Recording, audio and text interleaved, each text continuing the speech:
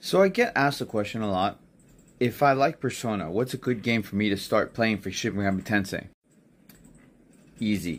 But it depends on your access to games or consoles. If you have a 3DS, these two games right here are right up your alley. Because Persona is more character driven than Shin Megami Tensei is, you have to find that game that kind of bridges between those two, and the Devil Survivor games do that. But if you play on console, then this is the game that you want if you play on console. And the thing is, these games are considered to be side games in Shin Megami Tensei, and the reason why I select these games is because they are more character focused, which typically is how the side games are. Follow for more gaming content, and don't forget to join my Discord and check out my links in my description.